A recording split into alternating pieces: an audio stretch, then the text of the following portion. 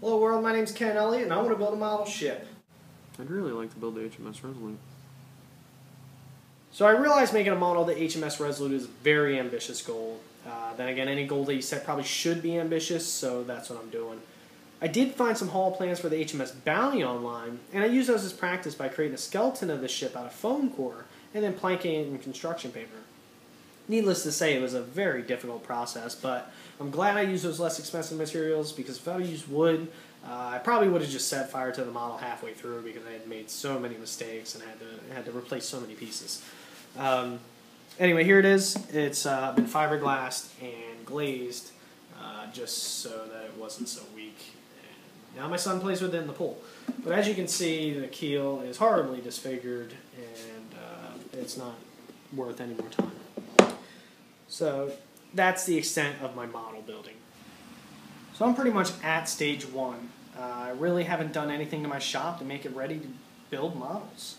All my tools are pretty large, so other than breaking down stock and building jigs, I just don't think they're going to be very useful. Um, my plan is to just document this whole process on video.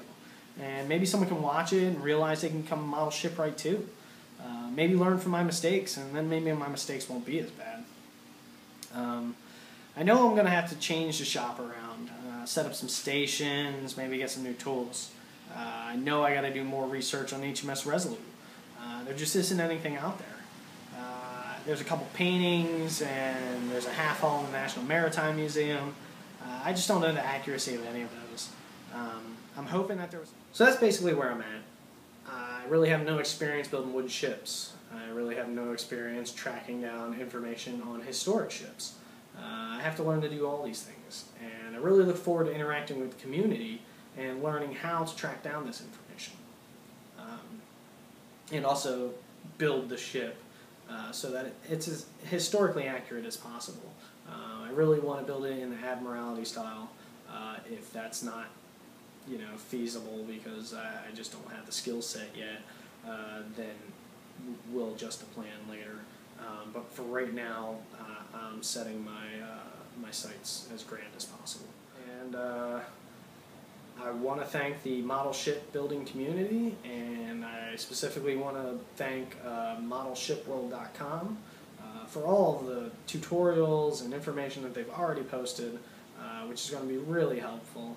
Um, you should really go check out modelshipworld.com. Uh, they have some great people over there doing some great build logs, uh, and it's just so much information. And it's just going to make it so much easier to uh, to um, build this ship. And I really look forward to keeping this video build log up to date. Uh, I know it's going to be a long time before we even get started because there's just so many hurdles in my way. Uh, I really look forward to figuring all this information out with the help of the community. Uh, so keep watching these videos and Get, send me any suggestions, questions, remarks, and uh, thanks for watching.